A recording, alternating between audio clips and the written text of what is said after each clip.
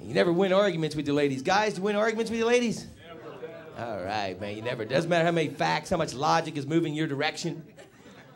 Uh, last time I was here, like three months ago, my wife called me up she goes, Pat, I have a problem. I go, what is it? She goes, my car won't start. I think it's the battery. So I said to her, did you call the AAA club? She said to me, no.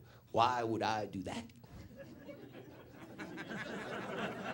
I don't know, honey. Why would you give a choking victim the Heimlich maneuver? Why would you do that? She says, don't worry, I'll do it tomorrow. Next day, Pat, turns out it's not the battery. Turns out it's the starter. Oh, really? The AAA club come out? No, no, no. Colleen thinks it's the starter. Your sister took a look at the car?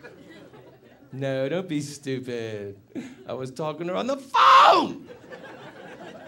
She diagnosed the problem through the phone. What pissed me off, she diagnosed it correctly, and that's what I'm talking about right there.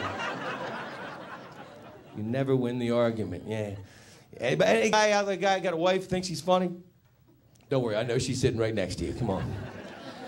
Yeah, my wife thinks she's funny. Yeah, last uh, last uh, October, you know what she got me for a little present? She got me a pair of uh, orange boxer shorts, orange boxer shorts with little ghosts on them that say "Boo." Yeah. And last week I'm pulling them on, right? And she's over in the corner, she's laughing her ass off. I, I go, what's so damn funny? She goes, I was just thinking that nothing in there is gonna scare anybody. really? You, you laugh at that? That's funny? Jack Nicholson. Oh, well, I got glasses for that one.